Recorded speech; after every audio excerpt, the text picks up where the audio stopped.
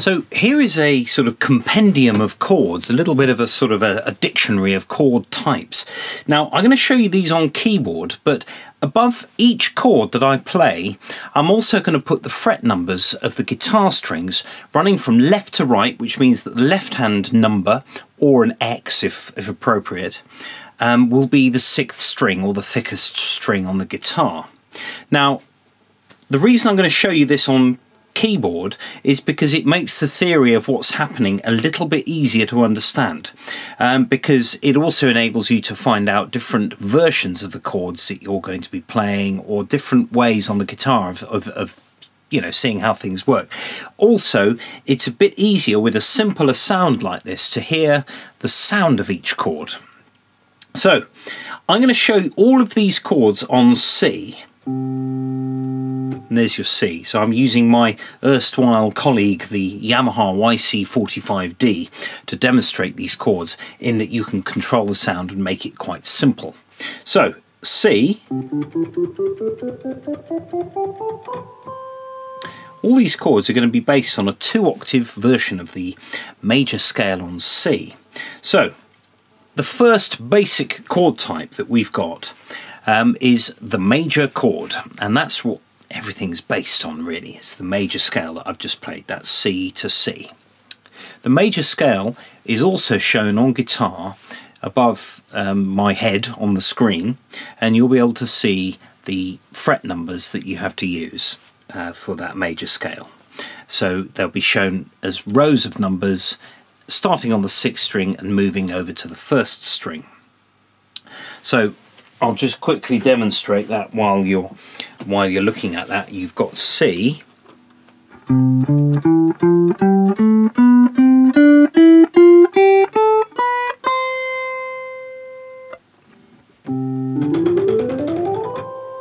there it is. So, the first chord, C major. Happy sounding chord. It's made up of three different notes. You think, oh, okay, there's six strings on the guitar. How's that going to work? The idea is that actually you use more than one of each note. There's your C chord using all six strings. There, I've got three C's, two G's, and an E. So there are three different notes, but some of them have been repeated.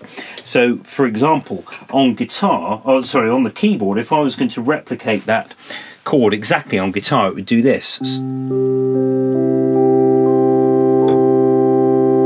So there's six notes there.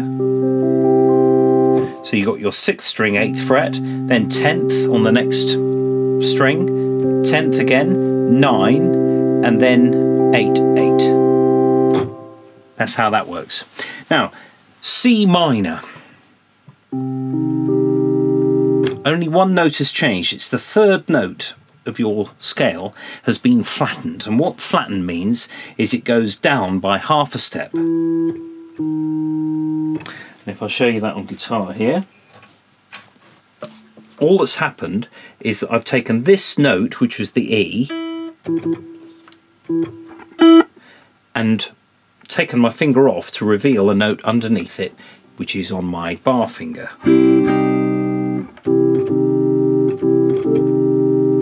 And there it is. So, you've got your major and your minor chords. Now here's the seventh. C. It's a C chord with the seventh that's been flattened, or rather lowered by half a step. That's the first thing to get used to. A C7 chord is a major chord, but you have what's called a minor seventh interval above that. On guitar it would do this. Where your seventh note is on the D string. So your major chord has gone from this this last finger take it away, it reveals the bar finger. And there it is. Tell you what, while I'm here, I'm just going to tune this keyboard. So that it's roughly the same as the guitar. So, and there's your C7. C minor 7 is the next one, which is actually the, your seventh note is the same, but the major, you add the or minor component rather.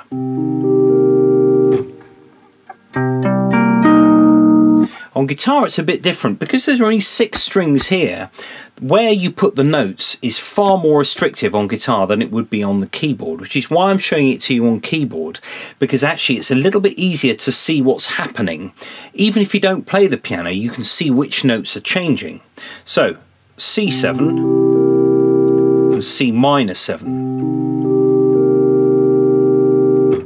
so my E has become an E flat and my B has become a B flat on guitars like that. So major 7 is actually, it's a little bit easier to fathom from the keyboard, although it's not as common a chord as the other ones. C major 7 does this. You've got your first, your third, your fifth, and the seventh. Quite a sort of a dreamy sounding chord. On guitar, it's a bit pickly. So you've got a major chord like this. Now major 7, you have to cross two different frets with the same finger and then put all that in the middle. You can see the diagram of that written over the top of the screen there.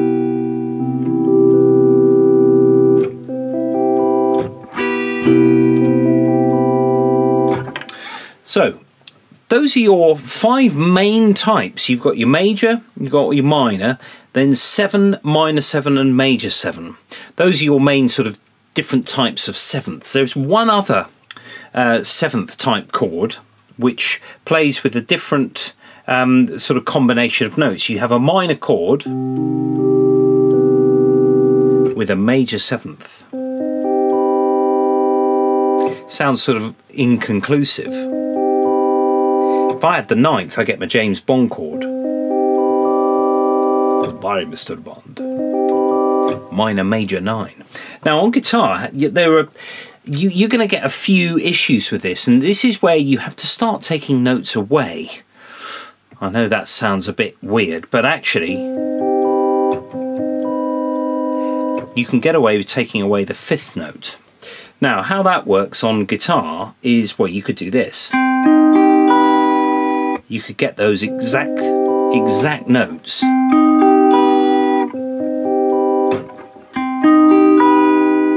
Notice though that I can't play my, unless I've got a long enough thumb to get round to my root note, but you can forget the root sometimes as well because the bass player will be playing that.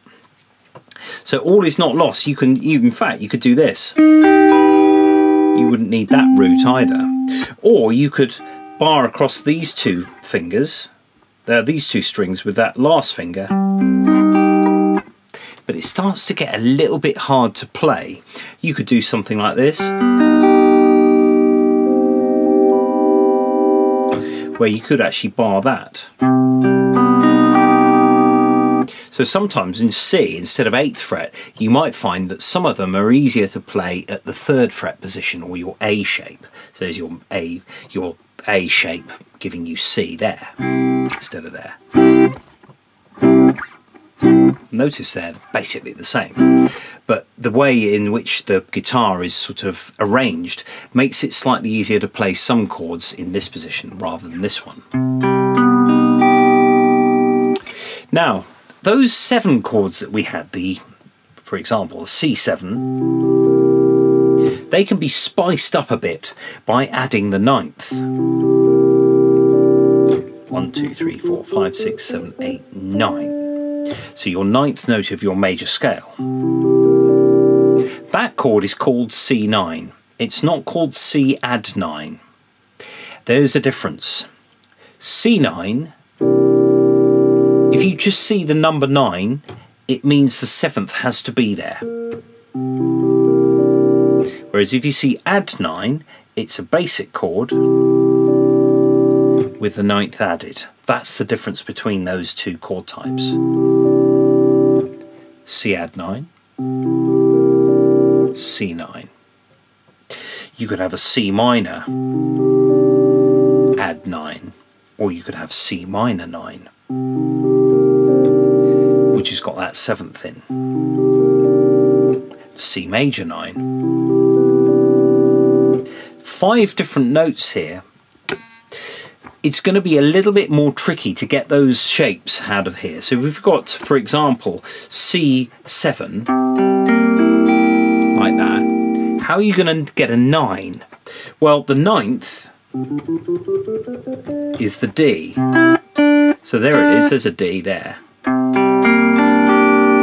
That's C9. But it sounds a little bit empty, and the reason is, is that your third that you had on the B string, on the second string there, has now gone because you've had to take that away to give to get the ninth. So there's another way of playing C9 that reinstates that all-important major component, which is this.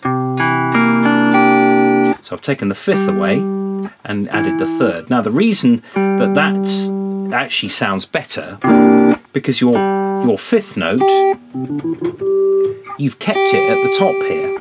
So instead of this you've actually got two of the same note there.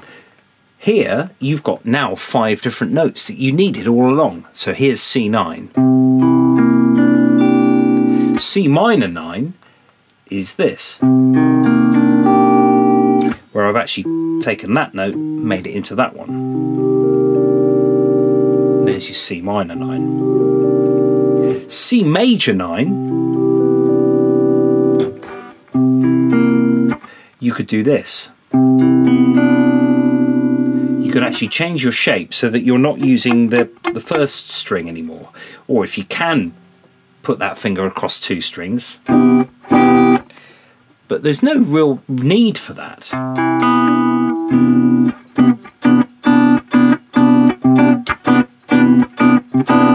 And in fact, the fifth note, you can get rid of that as well, because the perfect fifth interval is actually part of this note anyway, if you look into the sort of physics of the harmonic series. So you can get rid of the fifth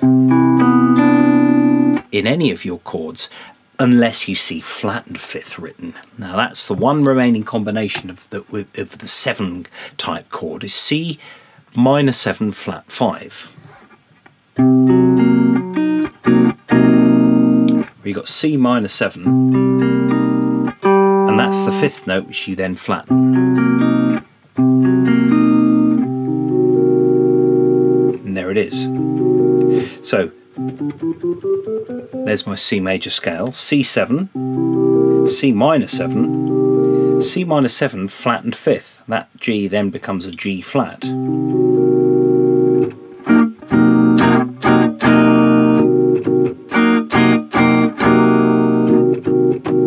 Sometimes that's called half diminished as well. Or if you're looking at a chord chart, it'll say M7 flat 5, half dim, or a zero with a line through? The answer is you have to be aware of all of them, really, which is a bit, yeah, it's, it's just one of those things to learn. Now, that's it with the sevenths. Um, now, you can have things like, you know, major 7, sharp 11, uh, you know, I'm going to sort of delve into those in a bit. The next thing, though, I'm going to show you is a 6 chord. Now, C6 is a major chord, but you add the sixth note. It's quite a happy sort of. The Beatles used to use it a lot at the end of their tunes.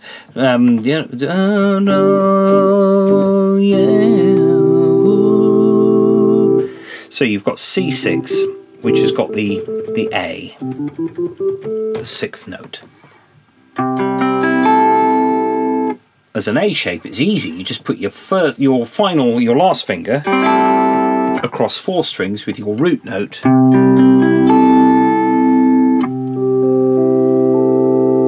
there's the equivalent on the keyboard. Don't forget, that A and that A are exactly the same. That's an A, it's the same. That one at the end, it's the same. Doesn't matter where you put your notes, um, apart from your major seventh, where I um, where I basically had the um, you can't have this. There is one interval, an octave plus a semitone, which can give you a lot of trouble.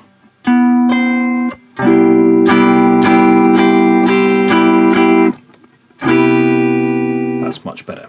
So C6, you can also have a minor sixth.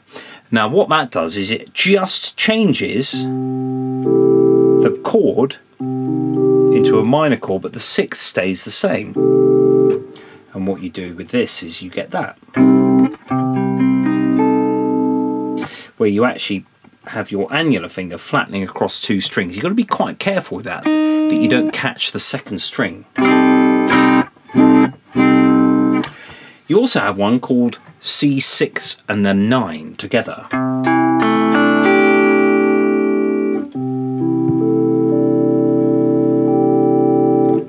Where you actually use the 6th and the ninth. Notice that C6 with a 9 doesn't include the 7th.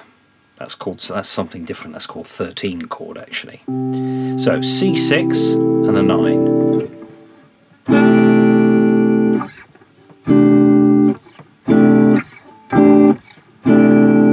there it is So, you have things like 7 with a sharp 9. That's sort of known as the the Hendrix chord, lots of people call it, because he used that chord in Purple Haze. He had a, a E7 sharp 9. Now, if I'm just putting it on C, as I have done with all the other chords, you have a C7, your ninth was a D, but instead we're going to sharpen it to a D sharp. A very definite sort of flavour, that one. So on guitar, it would be just that. So neither of the outer strings, just the middle four. You can have a flat nine as well. Sounds pretty weird. All of these chords are used in context. Now, when you're watching this video, you're probably sort of halfway through a song and trying to trying to work out what a particular chord is. So very often, if I just play that chord on its own, it won't actually sound really like anything. You think, well, where's that going to go? And actually, it would be probably followed by a chord that makes that preceding chord make a bit more sense. So C7 flat 9, I've got my my index finger across the fourth and the second string and then I put my two other fingers like that.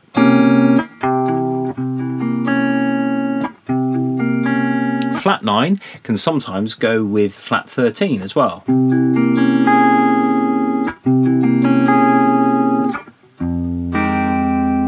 Lots of chord changes um, sound much more sophisticated when all of the notes don't move very far. For example, that flat 9 resolves onto a note that's only half a step away. So the more notes, the more complicated your chords, usually the, the, the you know, the less distance those notes travel between those chords, which is what makes them sort of sound a bit more sophisticated. So, um, we've got sus4. That's more of a common type. Now, if I'm in C again, sus4 means that for the first time, your third, whether it be major or minor, actually is not used at all, and instead the third is changed into the fourth. The reason it's called sus is because it's a suspension. Now what that means is that usually if you hear that chord, it's going to fall back. It's going to it's first of all suspended over a resolved chord.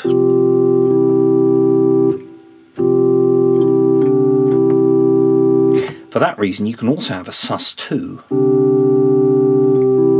which is a suspension, but this time below your um, sort of final chord. So C sus4 would be this. Listen to the intro of the um, Pinball Wizard by The Who. you've got lots and lots of sus chords at the beginning, which resolve onto their major.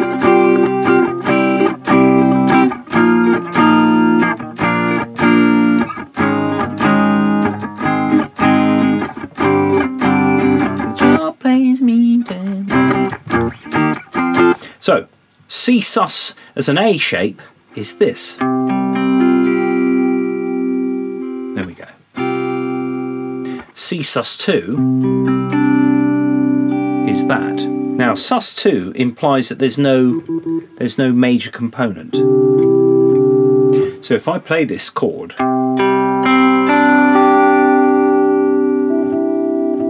that note isn't there.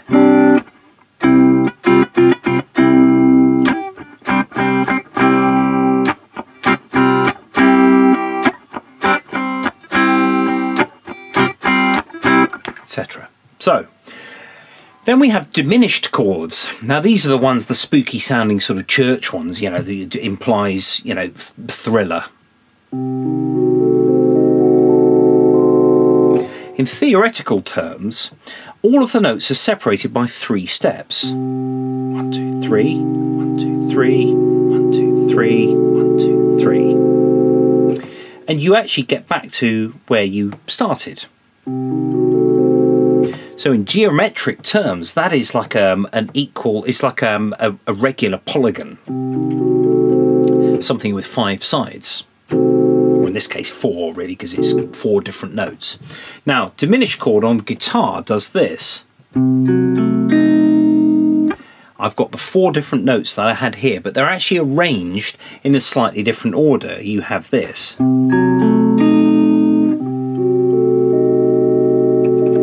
That note, don't forget that note and that note are the same.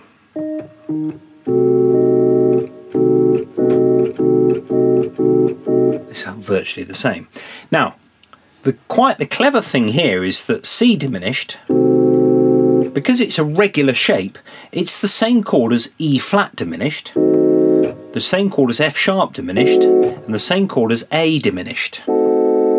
That means that there are four diminished chords that are the same, which implies there are only three different ones because they're, each of those three chords has four um, variants, four sort of um, you know versions. And given there are only 12 semitones in an octave, that means there are only ever three diminished chords. It usually dictates what the bass note is. So C diminished would have a C in the bass. But as a guitarist, you could play a D sharp diminished if the bass player is still playing a C. Now, because of the, the way the shape works here, moving up in steps of three, that means that your C diminished, you just move your hand up three frets every time, and if you fit all your fingers in there, C diminished, you'd end up an octave up there. So, there is a sort of compendium or companion of chords, if you like. Um, there are lots and lots of other chord types. Usually, um, what they sort of say on the page, it might say C major 7 sharp 11. So it gives you specific instructions on what to do rather than just assuming knowledge. So C7 sharp 11, 1, 2, 3, 4, 5, 6, 7, 8, 9, 10, 11.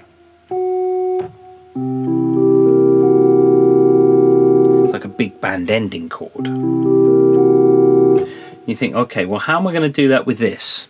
The answer is you have to take stuff away to reveal the important bits, that is, the sharp 11 and the 7.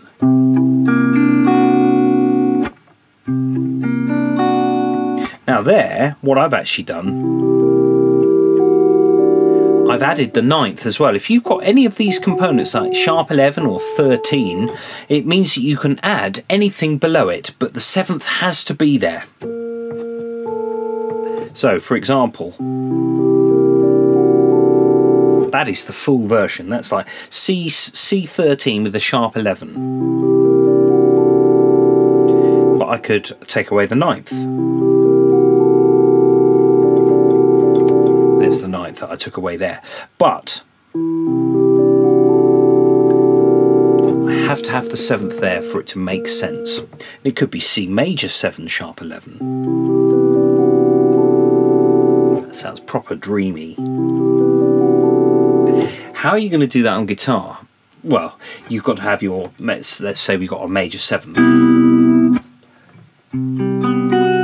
I could find my um,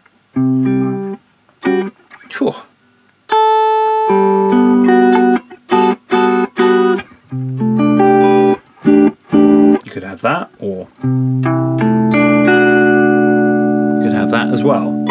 Now, a good substitute, while we're here, a good substitute for major 7 is the 6 9 chord. They've got a very similar flavour, but you don't get the problem at the with having the root note. Do you remember this? If I have this,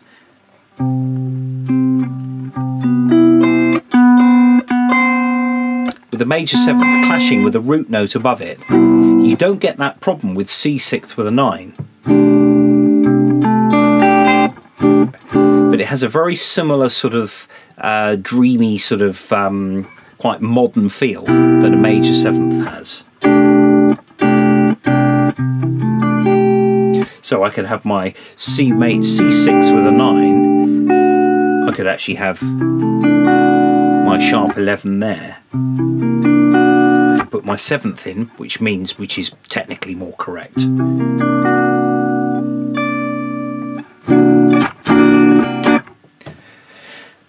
There are so many things, so many ways of approaching this entire subject. But I hope that showing this on keyboard has given you some sort of in-depth view as to what you need to play, what you need to, the notes that you need to include. Don't forget, you've only got six strings here in a very limited range compared with that of the keyboard. The piano, you can do any of these chord sequences or chord um, shapes rather very easily because it's it's laid out in front of you and you've got 10 different things that you can do um, indeed with a sustain pedal on the piano you could increase that yeah, more, you could actually stack these chords up and essentially play anything you like. On guitar, it becomes a little bit more tricky. So you have to start taking notes away. C9 is that. Now, I can take the root and the fifth away from any of these chords because the bass player would have the, the root and the fifth. I just bring that one forward.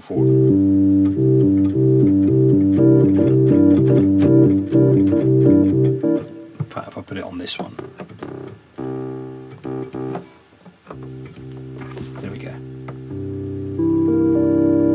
So you've got the root and the fifth, the C and the G, and then you have all the important stuff at the top. So your third, your seventh, and your nine. So the bass player is going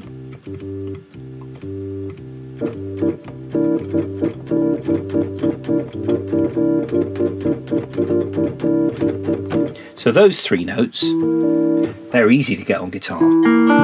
You, this time you just don't strum as many strings because you leave that to the bass player. Or you can play them both at once, but... Anyway, there is a little companion, something to digest. See how I get on with that lot.